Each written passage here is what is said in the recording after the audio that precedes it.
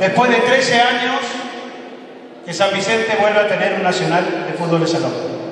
La última vez fue en el año 2011, cuando aquella vez vino Dilio, hicimos el nacional, se hizo el nacional femenino de mayores acá en San Vicente.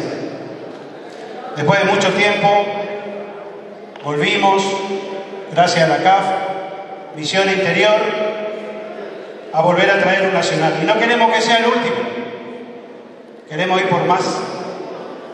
Queremos el año que viene tener otro nacional parecido a este.